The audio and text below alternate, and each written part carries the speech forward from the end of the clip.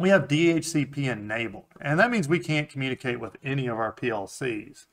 And so we're going to go and change our um, IP configuration. And this has changed many ways, and I know there's faster ways, but the most predictable way from really, I think, Windows 95 until I assume Windows 11, I haven't seen Windows 11 yet, is just to go to your control panel and select control panel and then find network and internet. And then we want to go to our network and sharing center. And then on the right, you're going to see change adapter settings.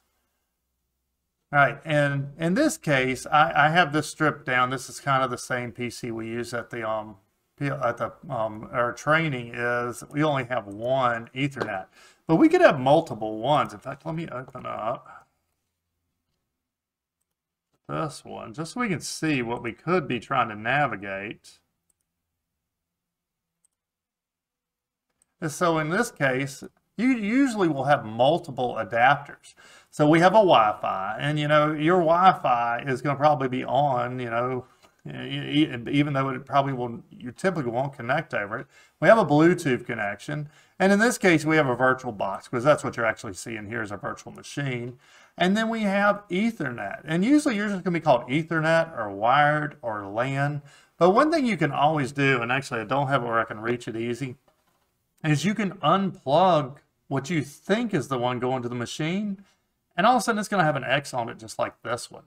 So that's one way you can identify definitely which device you're working with. But all right, so we're going to double click on that.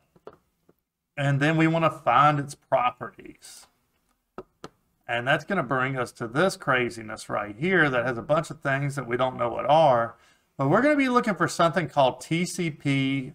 And it's either just going to be called TCP IP if it's a really old computer, or in this case, it'll start being called TCP v4.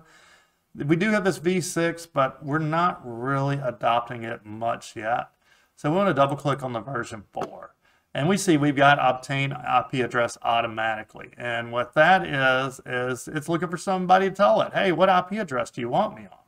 Well, we don't know it. And so this is the time that, yeah, you, you really need to keep track of your IP addresses because, you know, even here, the, the first, and that's one thing I love about the CompactLogix Center training classes. You know, we, you know, we get to this and I'm like, well, what's the IP address? Everybody points at that MAC right away. It says ENET address. That's got to be it. Well, no, that's not it. That's a MAC address. It's not going to help us out right now. And yeah, there's nothing here. And yeah, somebody will probably tell me in chat, well, some of them have a display. And you know, this one has a great display right here if I can get it to focus. But this morning I noticed the display buttons have gone out. So even if it has a display, you better have it written down somewhere. So let's go through a wrong way because, all right, we don't know a lot about IP addresses. But we go and we know that we've heard of 192.168.1. So I'm just going to type 192.168. Actually, let's start with zero, just so we can be wrong. This is not right for this network we have. I'm just going to randomly throw 107 in there. Now, here's one cool feature is you know you have to have this subnet. If while you're up here, you'll just hit the tab button, it'll fill in the subnet to what it probably needs to be based off of that IP. We're going to click that though. We're going to hit OK.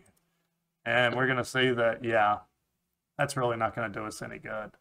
Except for this IP address here will change here in just a little bit probably. Let's just give it a second. There it goes. It blinks out.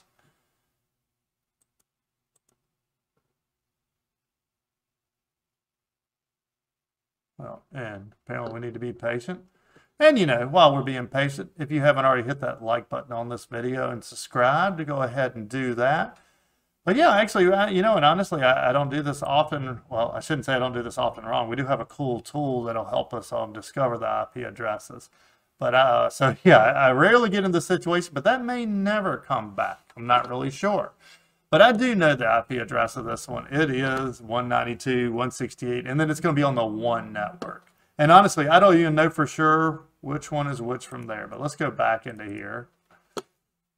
And let's change that Actually, let, let's do, let's do that a little bit better. Let's say now we call somebody and we're like, oh, they say it's well, it's 192, 168, 1, 171. We do have a few tools to help us out here. So as old school as it sounds, we're going to go to the start menu and let's type command prompt. And that's going to bring up this ancient looking DOS thing. And this may be the most important thing you understand in um, when you're troubleshooting Ethernet. And yeah, I know it looks old, but it's not. So we have a ping command. So the guy on the other end of the phone told us that he thinks it's 192.168.1.171. So I can ping space and then that IP address. And I hit enter. Okay, and you know, I don't really care what it says here as much as, you know, if it doesn't say reply from and that IP address that we were trying to ping, then we failed. So then there's another command. It's called ipconfig. And this is going to give you what your IP configurations is. Now, I always tell everybody I do not do networking classes, but Tim's networking rules say that these first three octets, which are the kind of the groupings of numbers, need to be the same. And this last one, whoops, needs to be unique. So right now, 192, 168, 1 is not the same as 192.168.0. So we're never going to be able to connect between these two. So let's go back to our Ethernet configuration and we're going to change it. Now you have to be really careful doing this because if you happen to put an IP address in that is already used on a network, you can make devices cease to talk and you can take systems down. So really this is where you've got to document these IP addresses out. So we're going to click OK to that. And even before we go back to RSLinx, one, let's go ahead and hit that IP config so we see the difference. So see now it says 192.168.1, 107, and our IP we're going for was 1, 171. So now, when I, you know, I quickly did that. I didn't tell you. If you hate typing, if you'll hit the up arrow, it'll give you your last command. And if you hit the up arrow again, it'll give you the command before that. And then we can go down. So we can scroll through the commands we've entered. And I'm just going to hit enter there. And all right, now we have a reply. And, you know, mainly we're getting a reply from the IP address that we pinged.